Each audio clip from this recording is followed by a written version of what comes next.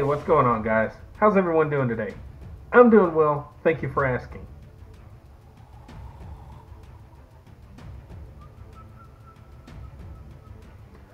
Today, we are finishing up our three part video series on a three part TV mini movie series, Jack Hunter. Alright, this review is about the last movie in the series, Jack Hunter and the Star of Heaven. Oh!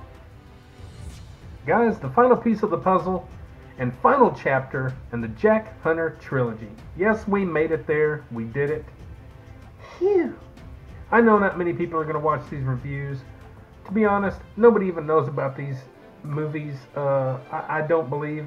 So, hey, I'm doing it because I like it, because I love it, because it's fun, and I found the movies somewhat entertaining and interesting. So, let me give you just a little rundown of the story in this final chapter. It seems the Romans have gotten to Akhenaten's tomb first. The race is on to see if Jack and his friends can find the treasure and recover the iris back from Lipman and the Russians. That's the basic outline of this last story. Now, guys, you know me. I don't remember anything off the top of my head when it comes to these things, so I do have my handy dandy trusty notebook. Handy dandy and trusty. And this is going to be a long, a long review here, a, a long talk. Uh, there's a lot for me to talk about. Uh, I can't believe that there's that much for me to talk about, but there is. And I'm going to talk about it. So, we are going to get it on. First things first. Okay? First things first. Now, I do have my notebook, so I'm going to read a little bit. Every movie has its flaws, its goods and bads, and this series is no different. I'm not one to keep up with every single moment of a movie. Most times, things happen, and I don't know why. People show up, and I don't know why. Once there becomes too many things going in and out, too many people, and this, that, and the other, and things are going all over the place, I lose track sometimes. It's always a little difficult for me to keep up. I don't know why. I'm just that way. I found that slightly true even for this series of movies. Most of you will not have this issue. I'm just a little slow. That's right, I'm a little slow. So forgive me. Now, there's not going to be any real super spoilers in this because I don't like doing that, but there might be a little something that kind of tells a little bit more than just a thought and opinion. But it's nothing super important that's going to make you go, well, forget that. I'm not going to watch it then. I already know the whole series, you stupid idiot. There's none of that. I promise. So hang in here with me. This is a long thought and review and overview of this series. So one thing I want to get into is gosh darn it, we have Russians again. It's the same Russians, but Russians again. All right. Also, our main leading lady next to Jack Hunter is Nadia. Beautiful lady. Nice eye candy. But she always has this weird look. Whichever side I'm going to put the picture on.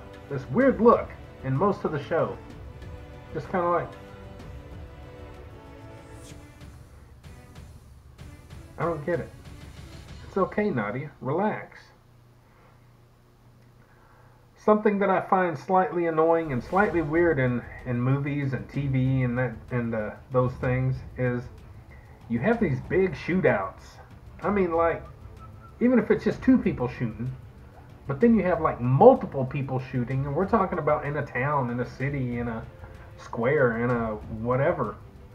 Uh, And nine times out of ten, in these movies and TV shows and that, no cops or nothing really shows up. It's always just like all this shooting and all this craziness going on, and then something happens. They take off and and the gunfight's over, and it's like, where's all the cops? Where's everything at? I can go out here in my little horse and buggy town, shoot a gun, and I'm gonna have cops all over me. That's always slightly annoying in movies. I don't know why it is that they do that, but whatever. We do have a nice moment. This is a slight little spoiler, not spoiler, just a slight little over the line of something that I want to share. There's a nice moment. I found it nice, and it's uh, it's with our character Tarek, uh, the driver. Um, he's having kind of a heart-to-heart talk moment with Jack in one scene about love and relationship and and what have you. And uh, we get Jack kind of having some flashbacks of when he first met Nadia, which literally is what I don't know how long the time span is between the first movie and this last one. Uh, in in their time, in real time, it was all shot, I believe, back to back. But in their time, I don't I don't know how much time has went past. But Jack is kind of thinking back. It's showing him kind of reminiscing and that, and uh, and I don't know. It was just one of those moments that I didn't really see coming, and that I thought was kind of cool and different for this character, Tarek, because when you see him throughout the whole show, throughout the whole three-part series, he's pretty much just goofy, crazy, like I said before in my other video, Jar Jar Binks kind of character. So uh, that was just a nice moment, and I thought I'd share that. Uh, something a little familiar in this last piece of the puzzle uh, that we've seen in the middle chapter is uh, we have an old fling show up. Uh, Nadia has an old fling that shows up and and uh, takes part in their adventure for a short time. And of course, there's a little bit of tension there between Nadia and him and Jack and what have you, uh, which is very reminiscent of what happened between Jack and Lena Houndstrom uh, in the middle chapter of this three-part series. Um, I don't know if it was needed or not. Uh, I don't know if they just wanted to say tick for tack. You got to do this, so I'm going to do this with her, or this, you know, whatever. I don't know what the why the choice was, but it wasn't anything super needed and super important. But I just thought I'd throw that in there that you do get in the middle chapter and in this chapter kind of a same situation there. Um, and this is kind of something dumb and annoying to me. Um, it's a slight spoiler. Slight, it just goes in, it gives you a little detail about what happens at the end, just a little bit. Nothing totally crazy, so you don't have to skip. It's nothing super major. Maybe. Uh, the ending has our main villain, Albert Lippman, in control of the staff. You know, the iris in the eye and all that stuff It's on a staff. They're out in the middle of nowhere, in the open land and that, and they're all fighting back and forth, and he has control of this, and and the staff, and it, it has the power, and it can destroy things. I don't know what all it can do. I just know that it shoots beams out, it shoots a beam out, and it destroys things. Um, they're they're doing all this stuff, and he's just out in the middle. They're using the staff, and you have the whole NSA, I believe is what they were called. The NSA shows up. There's like 50 of them, and they're just shooting and shooting and shooting, and nobody's hitting. Nobody's hitting anything. But then you can get one guy with a pistol from 100 yards away, and he'll get up and and you know and hit uh, a, a fly on the wall or something like that. It's just it's stuff like that that's kind of annoying. And it's it's almost like these people are trained by stormtroopers. Pew pew pew. A little bit annoying whenever they do that in movies, Like the one guy can't be hit, but the one guy can hit everybody else in the world. I don't know. That stuff gets that's a little annoying, little cliche, little weird. I don't know why they do that in movies. And another slight spoiler with the same, uh, it's the same scene. Uh, it's just a slight spoiler, nothing major. It's gonna make you not want to watch. It's not giving away any big plot twists or anything. But this staff uh, is able to melt like the land. It's he's you know uh, Lippman is shooting the beam at people, and it's basically melting the land into lava. Uh, okay, but it's a never-ending flow of lava. Uh, you'll see what I'm talking about if you watch. It's a little bit goofy and uh, unfortunately uh, kind of if even me whenever I, you know I'm not sitting here picking stuff apart too bad, but I'm like, how is this continuing to go? You know, I could see shooting the beam and it turning that blob of sand or land or whatever into lava, and then it melting away and just kind of laying there. But it's just a constant flow of lava, like there's now a volcano there.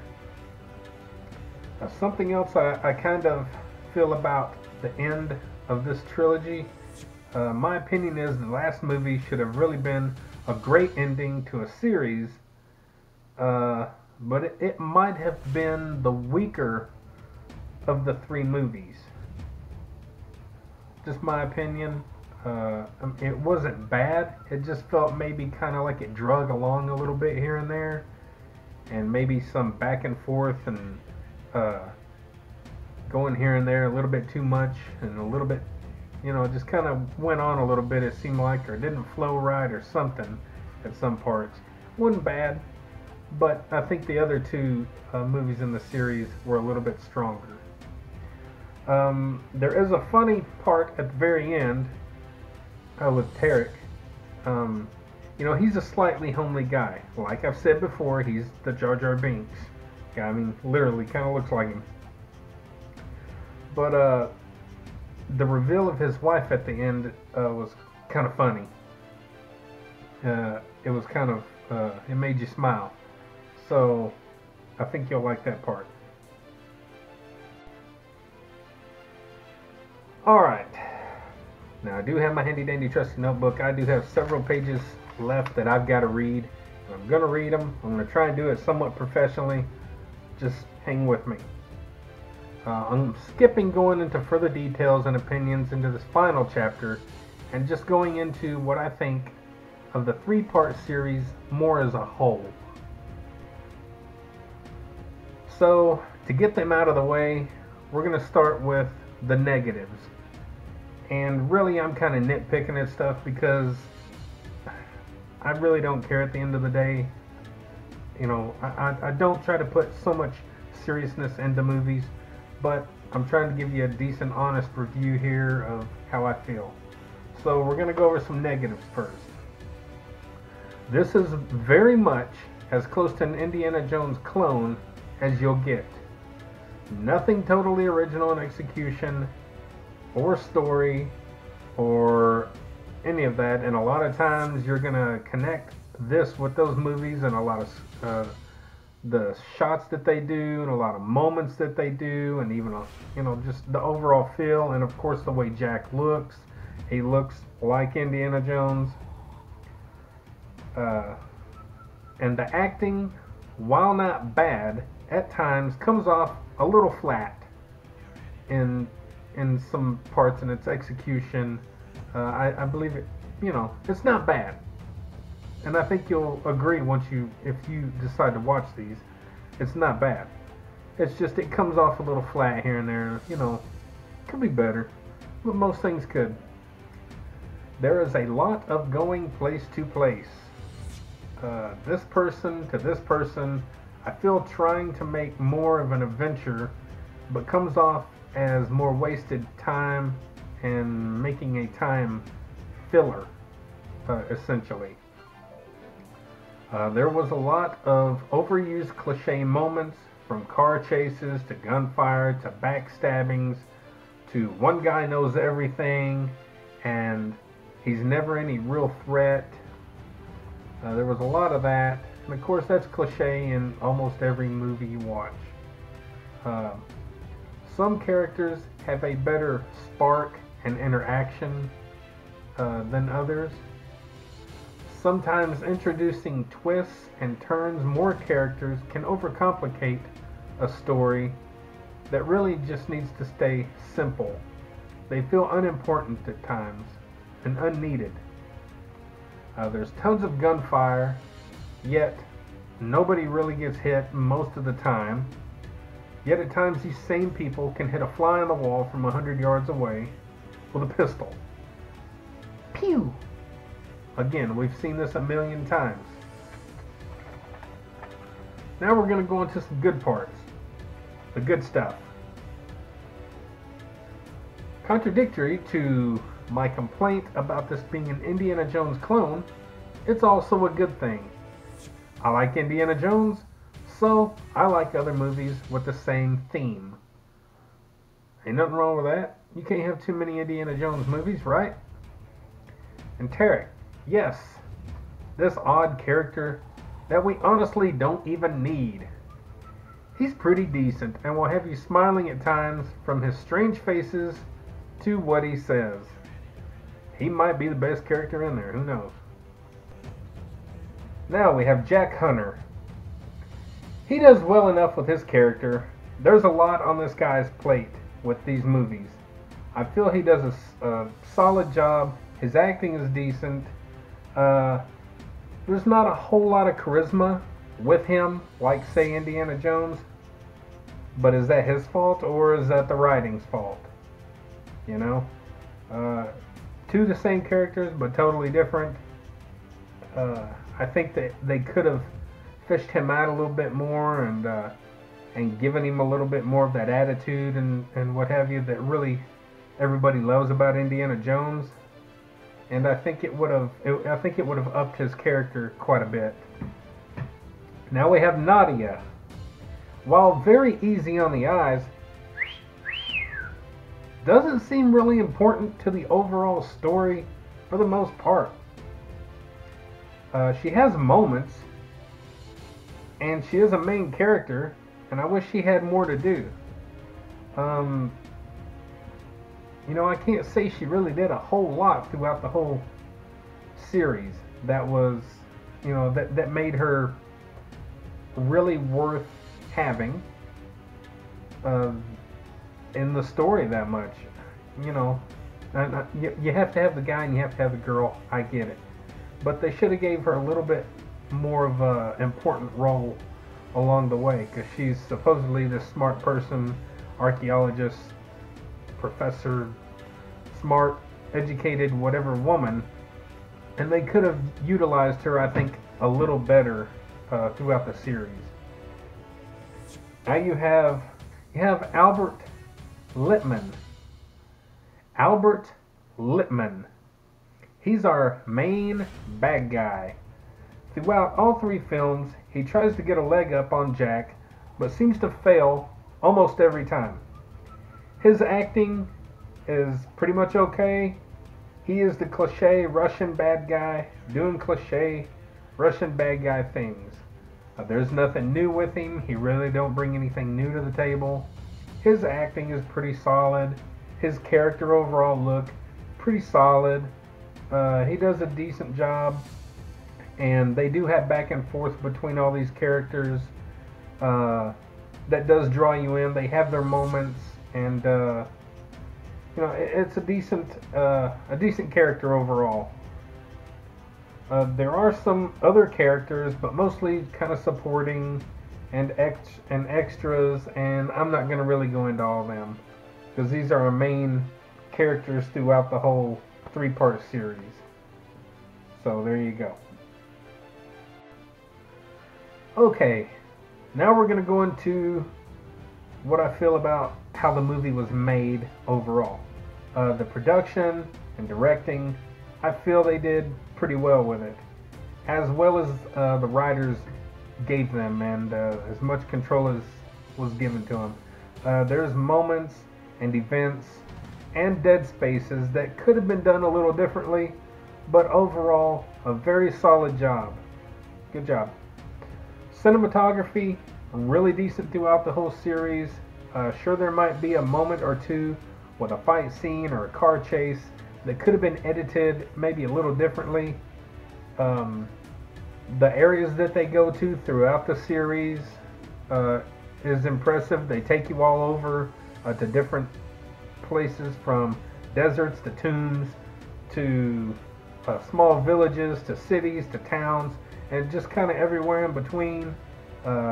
And, and, I think uh, overall you get a pretty good adventure throughout this series. The lighting, of course, I mentioned before, uh, things are really well lit uh, for most of the series.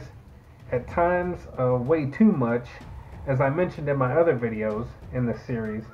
Uh, caves and tombs, and sometimes inside homes and buildings, etc. Uh, they should be lit a little bit differently, especially in your caves and tombs. Um, you're not going to have caves and tombs that are lit up. You know, there needs to be less lighting, give you some of that mood and atmosphere, uh, bring in some of those shadows and and have just glimpses of light, you know, playing on the actors and uh, and the surroundings. It should be more of something uh, a little bit more mysterious about those moments. As far as the script goes, uh, things could always change in most scripts. It's not perfect. There are mistakes sprinkled here and there. Some scenes we simply didn't need. Uh, some average and cliche moments, of course. Overall, though, for a three part series, I feel they did a decent job at trying to make things flow, adding new destinations, new characters, and keep us entertained. And guys, really at the end of the day, I like this three part miniseries. It kept me fairly entertained, and that's all I ask for. Most people have not heard of this, and that's too bad. Uh, you can find all three chapters on YouTube. Just type in Jack Hunter. Um, you can also look on Google and find some reviews, uh, some not so good reviews, and some that are okay reviews. And you can also look on YouTube whenever you find the movie, go down there in the comments, and you can see people commenting. Some people enjoy it, some people don't. Uh, I believe sometimes people are way too harsh on movies and TV shows and stuff like that. Um, you know, nothing's perfect, like I've said before. Uh, and I know I tried to make a fan film a few years ago, and it was only 30 minutes long 32, 33 minutes long. And it was very difficult. That's the first, first time I'd ever tried anything like that. And that's just me, my, you know, myself trying to do something like that. So throwing these things together, even the worst of movie, I can appreciate um, the effort and what talent there might have been to help get it along the way. And this here is no different. It looks like uh, a good quality, high production TV miniseries. It looks like a movie. Uh, they did well with it. Uh, the acting, I've seen way worse acting. I've seen way better acting. Um, excitement and uh, entertainment and, and, and entertainment wise, I've seen worse. I've seen better. It does okay. Um, really, I can't ask for a whole lot better. You know, I hope you enjoy it. I hope you watch it. I hope you give it a shot because I think you'll enjoy it pretty well. Guys, I'm going to give this three part TV miniseries a solid 4 out of 5. Easily. 4 out of 5. I enjoyed it. The characters are okay, the story was okay, uh, all the different locations and that was okay. Uh, the different scenarios, you know, the different things and all that that took place uh, was okay, and the and the things that I found uh, kind of annoying or cliche or or maybe not needed or whatever, they take a back seat to that. Okay. So, anyways, guys, I hope you enjoyed this three-part video series that I did on the Jack Hunter TV miniseries. I hope you enjoy it. Hope you watch them. Go back, check them out. Check out all my other videos and movie and TV reviews, to cooking, video games, chit chatting about whatever, art, photography, bike riding, all that good stuff. I try to keep everybody entertained. I keep myself entertained. I enjoy doing all this. I love you. I love me. Guys, don't forget, get up, get out, get ready, do it to it, even as a Russian bad guy. Thank you. Come again now. Eh? Was that Russian? I don't know if that's Russian. Go watch his movies, guys. We'll see y'all later.